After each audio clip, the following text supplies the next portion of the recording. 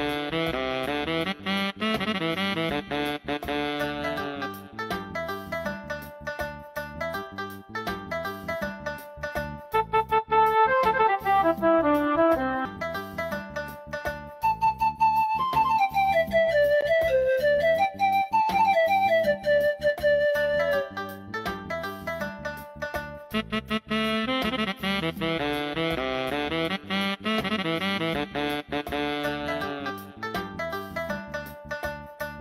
waxaan soo dhaweynayaa wafdiga ay hogaaminaysay ku-xigeenka s r g-ga oo ay ka mid ahaayeen madaxa ambasador madera ee a u-da iyo ambasadorka e u-da iyo egad runtii waxaan uga mahad celinayaa safarkan.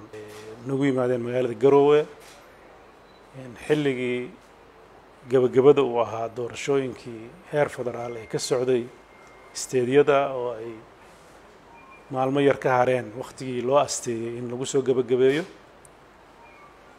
Runtii kulankan wuxuu ahaa kulan anigoo wada hadlaynay heerka uu marayo diyaar garowgii marxaladda labaad ee doorashooyinka. Markay gebagabowdo iyo guud ahaan xaaladda dalka marxaladdan u marayo iyo caqabadaha dhiman ee hadda ka jira sidii loo gaari lahaa sidii loo dhammaystiri lahaa electionka loona gaari lahaa dhammaan waxyaabihii lagu heshiiyey oo ka mid yihiin qoondada haweenka loona ilaalin lahaa waktigii loogu talagalay. Marka kulan isxog waraysi ah ayuu xooggiisi ahaa waxyaabihii u badnaa aan ka wada hadalnana waxay noqdeen waxyaabo runtii aan isla garanay waana uga mahad celinayaa runtii safarkan qaatay waktigii ku habboonaa Thank you, President Said Abdullahi Deni and your team for the warm welcome that you have extended to us today as the AU, the EU, IGAD, and the UN.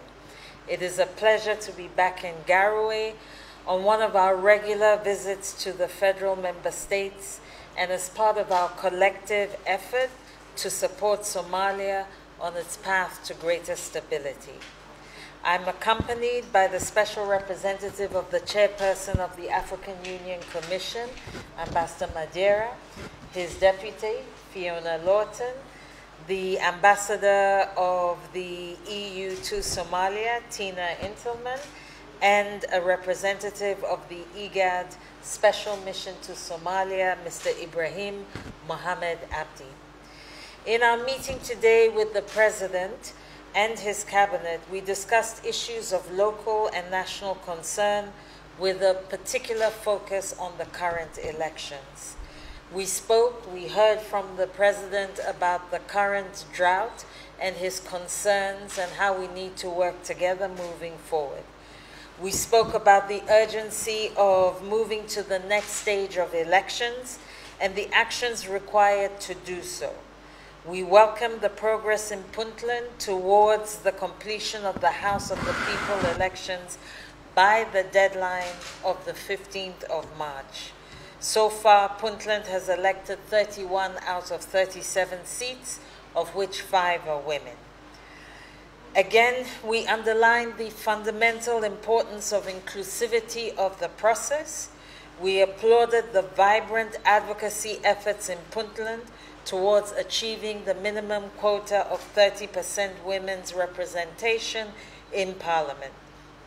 However, we noted with concern that achievement of this objective is in doubt. We therefore urge that ongoing efforts be redoubled to ensure more women's representation in the federal parliament. As we approach the 15th of March deadline, it is important to conclude elections for all House of the People seats at the earliest. We therefore urge stakeholders to work together constructively and expeditiously while ensuring political space for all so that the electoral process can be completed by the agreed deadline. I thank you, Mr. President. I thank your government, and most importantly, we thank the people of Puntland for their very warm welcome. Thank you very much.